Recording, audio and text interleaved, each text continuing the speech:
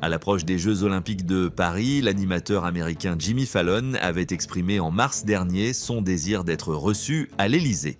Saisissant l'opportunité de rencontrer en personne cette célèbre figure, Emmanuel Macron a répondu avec une touche d'humour à cette demande sur ses réseaux sociaux. C'est une triste nouvelle pour les passionnés de sport. Les Jeux Olympiques de Paris 2024 arrivent à leur terme. En attendant le début des Jeux paralympiques, la cérémonie de clôture, conçue par Thomas Joly, se déroulera ce dimanche 11 août 2024 au Stade de France.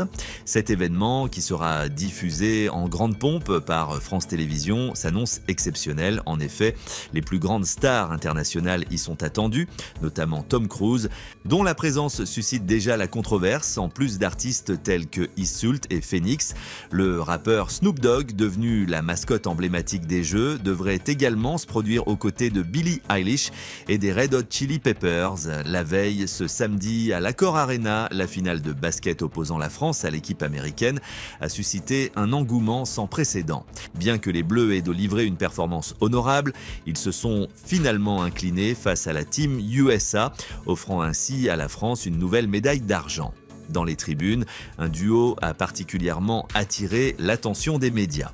L'animateur américain Jimmy Fallon, ayant posé ses valises à Paris comme bon nombre de ses illustres compatriotes, a eu l'opportunité de se faire photographier aux côtés d'Emmanuel Macron, présent pour assister au dernier match de basket.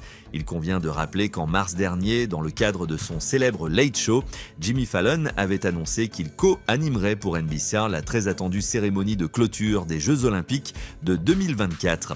Profitant de cette annonce, il avait formulé une demande des plus surprenantes au président de la République, son souhait le plus cher étant d'obtenir une chambre d'amis au palais de l'Élysée. Monsieur le président Macron, il me suffirait d'être là trois jours, avait-il déclaré avec humour. Il doit bien y avoir de la place dans ce palais, non?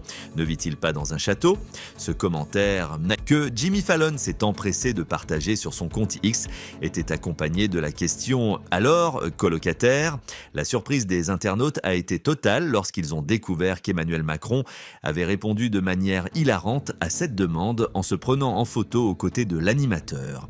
Meilleurs amis, a tweeté le chef de l'État en relayant leur selfie insolite, provoquant un véritable engouement sur la toile. Cette photo inédite est d'ores et déjà entrée dans l'histoire.